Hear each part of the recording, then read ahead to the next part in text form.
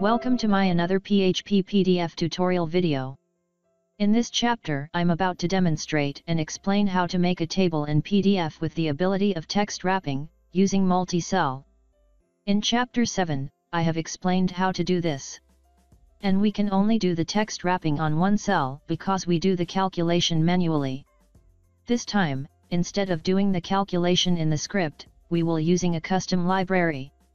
So with this, we should easily implement text wrapping on every cell. And you can combine any custom libraries such as barcode and header footer into your own custom library. I have prepared the custom class in my GitHub repo. The link should be in the description.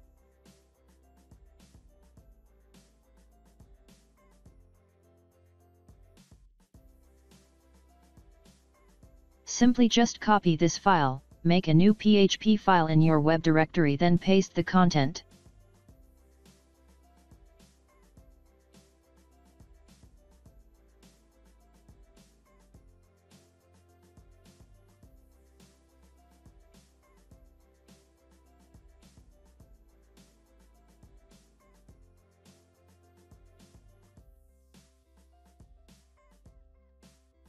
Here I have prepared beforehand, a mock JSON file with 1000 datas to be displayed containing ID, first name, last name, email, gender, and address.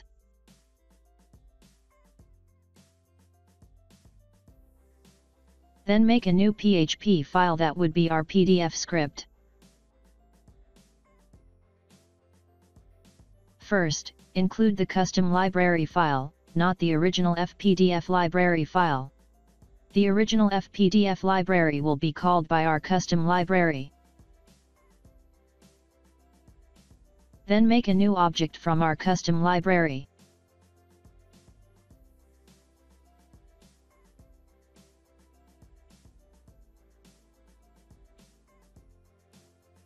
Then add a page like usual. And set the font we're gonna use. Here I use Arial with 14 point in size. Now we will be using our custom library. First, set the width of each column using setWidths method with array as parameter. We need to define the width of every column in array fashion. For now let's just guess the width. Next, set height of the line using setLineHeight. We need this to calculate the required multi-cell height. This is the height of text lines, not the rows.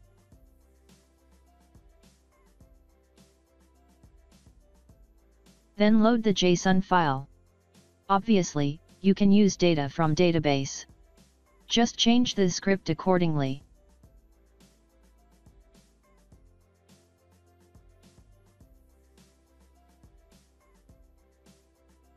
Then loop the data.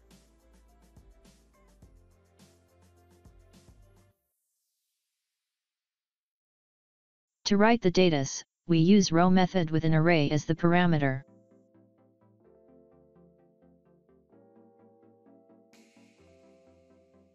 The array should contain the value of each cells, and the number of element should match with the array in our setWidths method.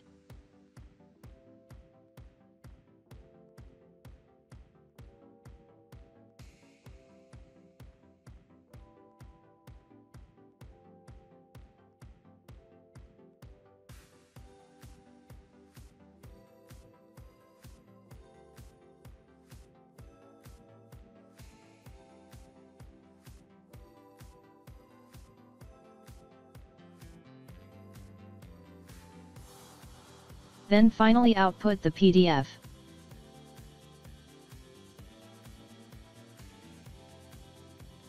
And let's see the result.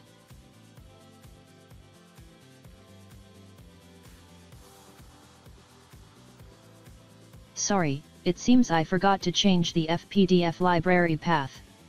In this tutorial, I still use FPDF version 1.7, so let's change that.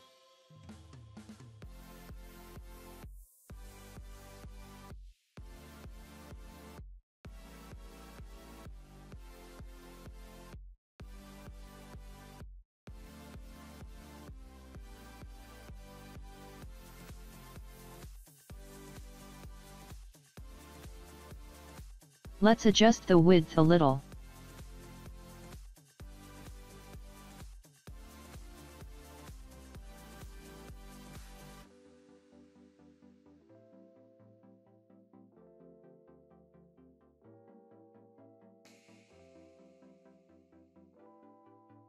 and add the table heading using standard cells.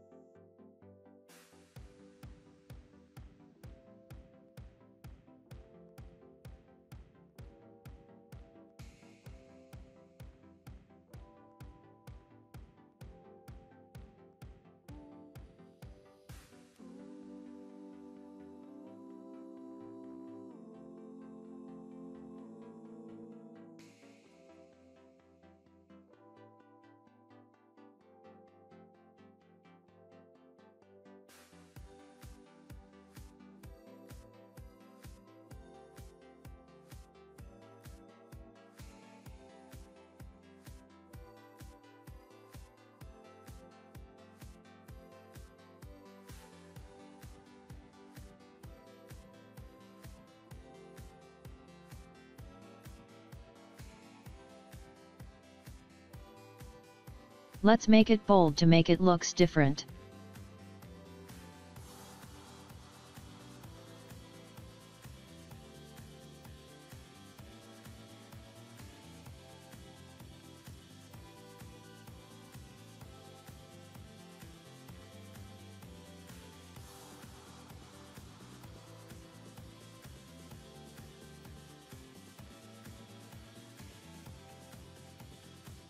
And that is how we use this custom library. Now, I will explain how this library works. You can skip this part if you want, but continue watching it is recommended. This library needs the original FPDF library, so we include it first. Then declare the class, extending the FPDF library. In this part, we define the variables to store the widths, text alignment, and line height. This is the setter method for the cell's width, which is an array of integer.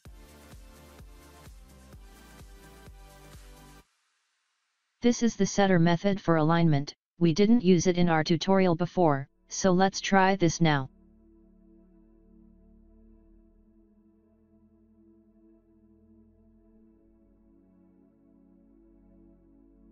Same as set widths, we define each cell's alignment in array fashion.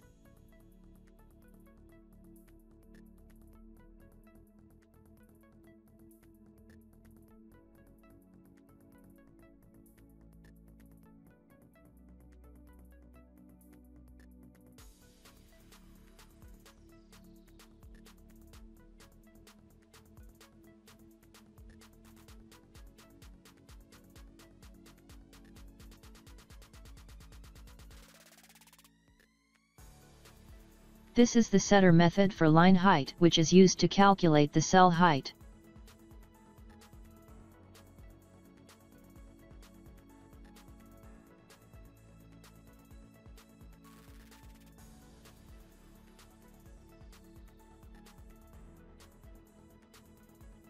And this is the row method to write the content. This method first find out the greatest line number from every cells in whole row using internal method called NB lines to determine the number of lines needed to render the text.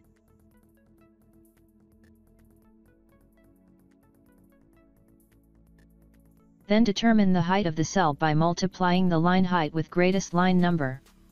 Then break the page if the content overflow the page. So no rows will be truncated. Using check page break method which I will explain later.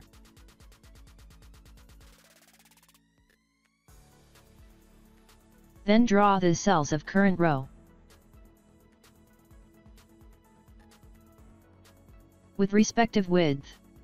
Alignment which we have just defined earlier.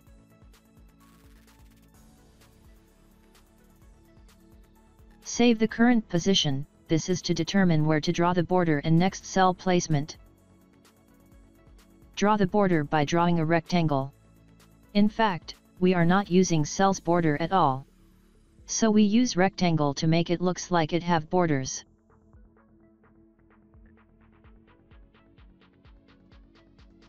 Print the text using multi-cell.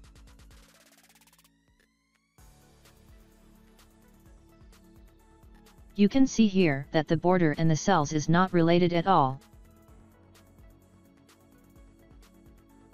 Then set X and Y for next cell.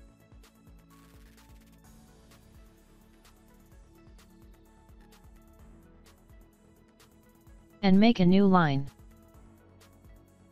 Check page break method is using Y position and page break trigger property to determine whether the cell will overflow the page. And if it does, a new page will be created first.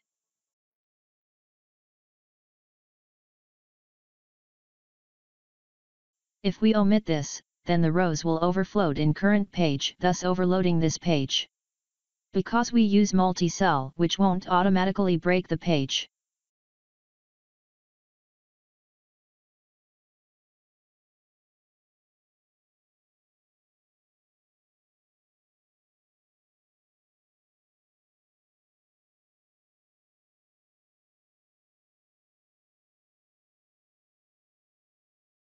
And finally NB lines method to calculate the required cell number.